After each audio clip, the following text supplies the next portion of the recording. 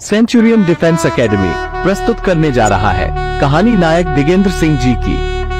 जय हिंद साथियों, आज हम आपको एक ऐसे ही महापुरुष से रूबरू करना चाहते हैं, जिन्होंने भारत को कारगिल के महायुद्ध में पहली जीत दिलाई थी। जी हाँ हम बात कर रहे हैं राजस्थान की धरती से जन्मे नायक दिगेंद्र सिंह जी की। 3 सितंबर उन्नीस को दिगेंद्र सिंह के पिता उनको झुंझुनू राजस्थान ट्रेनिंग सेंटर ले जाते हैं। वहाँ उनकी मुलाकात सीओ करमजीत सिंह से होती है। गेट पे कोई आया है? राम राम साहब जी। और सुखिंदर सिंह कैसे आना हुआ? तो साहब अब हमारा छोड़ा बड़ा हो गया से अब इसे फौज में भर्ती करवाना है। लेकिन सही साहब तुम्हारा छोड़ा भी बच्चा है। इसे पढ़ाओ दिखाओ कहा फौज के चक्कर से बाहर? हमारा छोरा बच्चा नहीं है साहब जी। जाएगा तो ये फौज में ही। वैसे छोड़ा कितने साल का है साहब जी अब मैं सोलह साल दो महीने का हो गया हूँ। मैं शेर नहीं बाबा शेर हूँ। जाऊँगा तो मैं फौज में ही। चल सुखिंदर सारे छोड़े को फौजी बनाने की ज़िम्मेदारी मेरी बहुत बहुत धन्यवाद साहब जी। इसके बाद दिगेंद्र सिंह को उनके पिताजी छोड़कर घर लौट जाते हैं। जसवीर सिंह जरा दिगेंद्र को बुला के लाना। दिगेंद्र सिंह तुम्हें सीओ साहब ने तुरंत बुलाया है। दिगेंद्र सिंह मेरे सेठ मुझे तुझमें वो जोश दिखता है जो और फौजी में होना चाहिए। जा तुझे Rajasthana rifle training centre Delhi भेजता हूँ। जय हिंद साहब। इसके बाद दिगेंद्र सिंह ने राजपूताना राइफल दिल्ली सेंटर में ट्रेनिंग ली।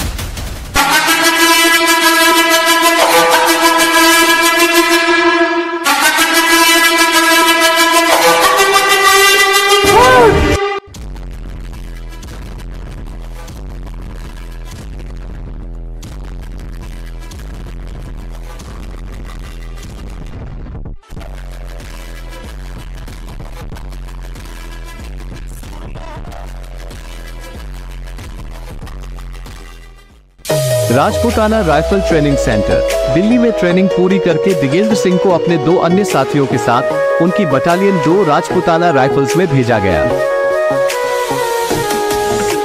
राजस्थान स्थित दो राजपूत राइफल्स यूनिट में पहुँचते ही देगेंद्र सिंह की मुलाकात उनके यूनिट के सीओ करमजीत सिंह से होती है। जय हिंद सर। जय हिंद जवानों। और दिगेंद्र सब खैरियत? यस सर और तुम दोनों ठीक? सर तीनों की पोस्टिंग जम्मू आई है। जाओ मेरे शेरों अपने यूनिट का नाम रोशन करके आना। उनकी पहली पोस्टिंग जम्मू आई। उन्हें वहाँ गोला बारूद उठाने रखने का कार्य सौंपा गया। 3 मई 1999 पूरा देश नापाक पाकिस्तानी घुसपैठ से बेखबर। चैन की नींद सो रहा था। वही सेना को खुफिया सूत्रों से पता चल चुका था कि पाकिस्तान ने कारगिल के द्रास सेक्टर तोलोलिंग और अन्य चोटियों पर कब्जा जमा लिया है। 3 मई 1999 शाम 5 बजे तत्कालीन प्रधानमंत्री अटल बिहारी वाजपेयी युद्ध का ऐलान करते हैं। हम शांति चाहते हैं ये तो दुनिया ने देखा। अब दुनिया ये देखेगी कि हम शांति की रक्षा के लिए और अपनी शक्ति का भी प्रदर्शन कर सकते युद्ध का ऐलान होते ही सेंट्रल आर्मी कमांड दिल्ली में हलचल शुरू हो जाती है। रात के तीन बजे सेना प्रमुख वेद प्रकाश मलिक जी ने एक गुप्त बैठक बुलाई। Officers, what is the situation right now? Sir Mujahideen और पाकिस्तानी ट्रूप एलओसी क्रॉस करके अंदर आ चुके हैं। Oh, इस इंफॉर्मेशन से लगता है they are all over Dras sector Mushkoh valley Batalik sector इन्होंने तो पूरे इंडियन टेरिटरी पे ही कब्जा कर रखा है। They have occupied our bunkers too sir जो खाने पीने का सामान हमारी फौज अपनी बंकर पे छोड़ाई थी। वही खा रहे हैं और हम ही पे हमला कर रहे हैं। सर प्रॉब्लम ये है कि point four eight seven five Tololing और कुक्कड़ खांसा से एन एच वन पे लगातार नज़र जमा हुए हैं। और तो और हमारी कॉन्वर्स पे कॉन्टिन्यूस सेलिंग करवा रहे हैं। Officer situation is really very critical. है कोई ऐसी बटालियन जो हिंदुस्तान को टोलो लिंक पे जीत दिला सके? है ना sir? To Rajputana rifle.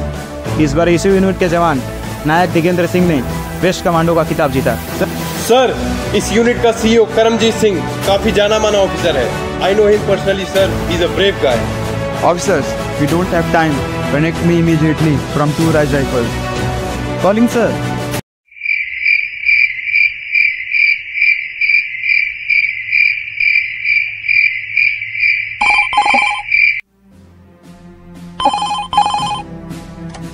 Hello two Rajput rifles you office Ved Prakash Malik, Chief of Indian Army, is on the line. Over and out.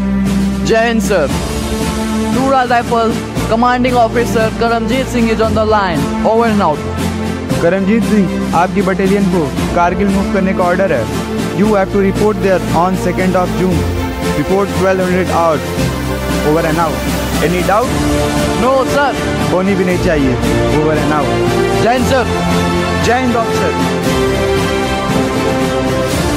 Jasvir Singh सारे जवानों को बोलो सी ऑफ़िस के सामने तुरंत रिपोर्ट करें। जी सर। सभी जवान अपने बैरक में सो रहे होते हैं। जवानों सावधान। साहब ने सबको कॉलिंग के लिए बुलाया है सबको सी ऑफ़िस के बाहर हाजिर होना है।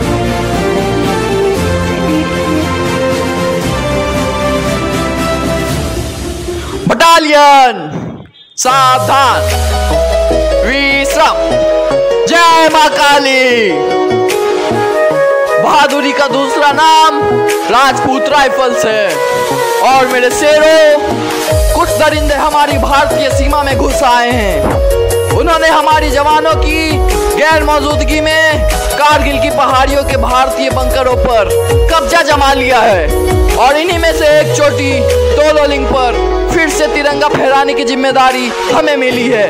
कोई शक? हम सब कल 1200 आवर्स पे सारे सामान के साथ कारगिल के लिए रवाना होंगे। आर यू ऑल रेडी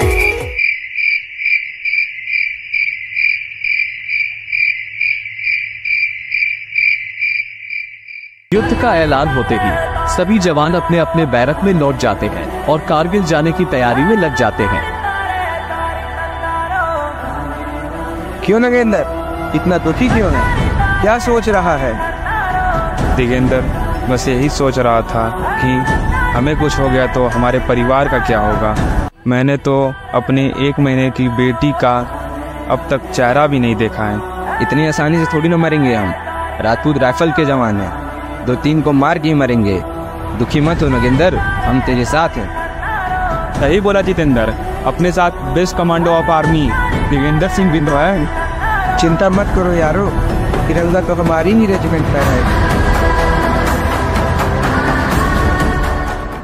साथियों हम कारगिल पहुँच चुके हैं। आज रात हम यहीं आराम करेंगे। वही सो जाते हैं अगली सुबह आठ बजे। सावधान section commander major Vivek Gupta आ चुके हैं। जय हिंद। जवानों। तीन जेसीओस पचास हज़ार रैंक्स। हाजिर है जनाब। जैसा कि हम सबको पता है कुछ कायरों ने हमारी भारत माँ की अखंडता पर आँच डालने की कोशिश की है। उन भेड़ियों को जन्नत का रास्ता दिखाने का सौभाग्य हमें प्राप्त हुआ है। है कोई भारत माँ का सबूत जो मुझे आश्वासन दिला सके कि भारत की पहली जीत का तिरंगा वहीं लहराएगा?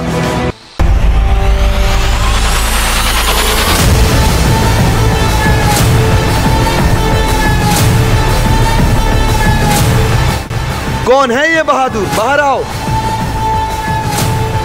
सब शाबाश बेटे, क्या नाम है तेरा?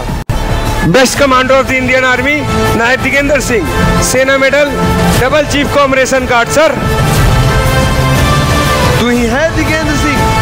बहुत सुना है तेरी बहादुरी के बारे में। आज देख भी लिया। जा मेरे शेर तू ही बनेगा इस जंग में इस यूनिट का प्लाटून कमांडर धन्यवाद साहब। जवानों डिस्पर्स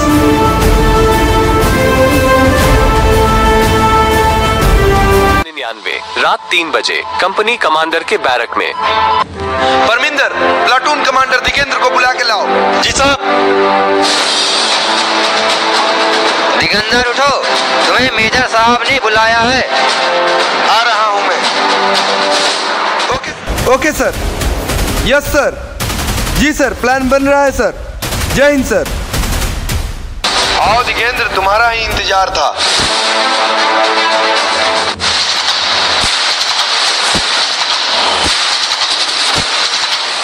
चलो दिगेंद्र प्लानिंग हो चुकी है। कल 500 आवर्स पे हमारी कंपनी सोलो लिंक पे चढ़ाई शुरू करेगी। यस सर भारतीय सेना के आगामी हमले से बेखबर तोलोलिंग के ऊपर कब्जा जमाए पाकिस्तानी सेना के बनकर का दृश्य। और जनाब इतनी रात को जगे हुए हैं क्या हुआ? कुछ नहीं आसिफ हुजूर मुशर्रफ ने हिंदुस्तानी सेना की खिदमत करने की आशंका जताई है।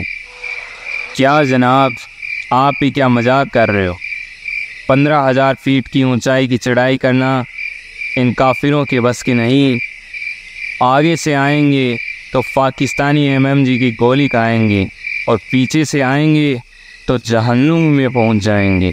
वही नहीं, आसिफ। हुकूमत को डर है कि कहीं उन्नीस सौ इकहत्तर की तरह ये काफिर फिर हमला न कर दें। ऐसा कुछ नहीं होगा जनाब। आप अपनी मौज में मस्त रहें। बिलाल जनाब के लिए एक और पैक बनाओ।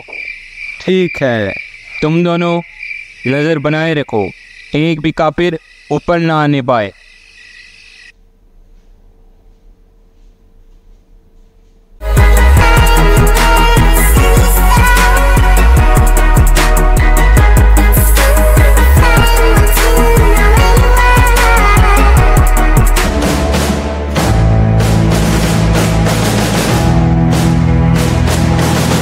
जनाब इन हिंदुस्तानी काफिरों ने हमला कर दिया है। पाकिस्तानी फौजी हिंदुस्तानी जवानों को आता देख लेते हैं। ये कैसे हो गया? तुम हराम करो को एक काम किया था वो भी तुम सबसे ना हो पाया। चलो चलो अब समय नहीं है बात करने का। होल्ड योर पोजीशन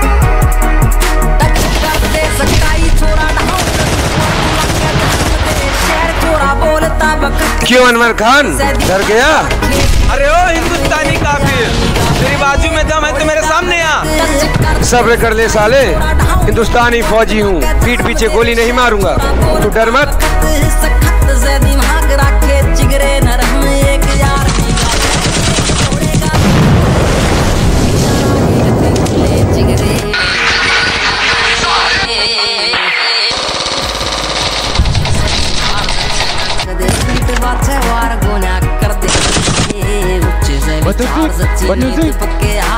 साहब वीडियो ले लो साहब। इन पाकिस्तानी कुत्तों को मत छोड़ना साहब। मैंने एल एम जी ले लो साहब। बच्चन सिंह कुछ नहीं होगा तेरे को। नहीं साहब अब मैं नहीं बचूँगा साहब। मैंने पत्तों को पता है। उनका बाप सर पे गोली हाँ।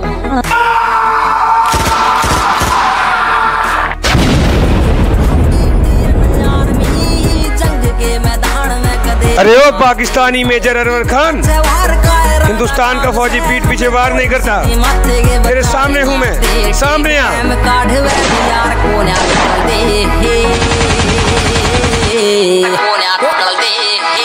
हिंदुस्तानी फौजी मुझे छोड़ दे। ये हिंदुस्तानी फौजी का हाथ है। साले इतना आसानी से नहीं छूटेगा।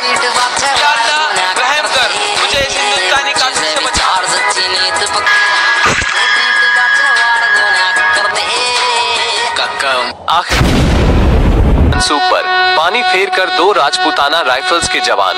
नायक दिगेंद्र सिंह ने पाँच गोली लगने के बाद भी 48 पाकिस्तानियों को मारकर अपना नाम इतिहास के सुनहरे पन्नों पर दर्ज कराते हैं। जंग तो चंद राज होती है। ज़िंदगी बरसों अरे साहब जी, मैं बाप बन गया हूँ, बाप। मेरे घर बेटी पैदा हुई है।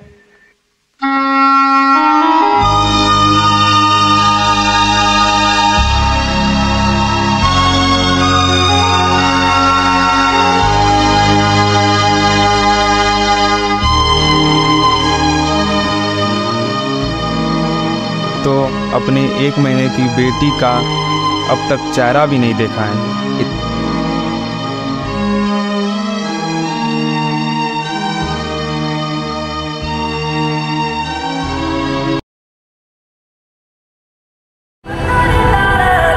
तोलोलिंग पर विजय प्राप्त करने के पश्चात युद्ध के शूरवीर नायक दिगेंद्र सिंह जी को कुछ दिन के लिए सेना अस्पताल श्रीनगर में भर्ती किया गया। कुछ दिन बाद उन्हें कमांड हॉस्पिटल, पुणे में आगे के इलाज के लिए भेज दिया गया। इसके बाद 15 अगस्त 1999 को नायक दिगेंद्र सिंह जी को उनके अदम्य साहस और देशभक्ति के लिए उन्हें राष्ट्रपति डॉक्टर के आर नारायणन के द्वारा महावीर चक्र के सम्मान से नवाजा गया।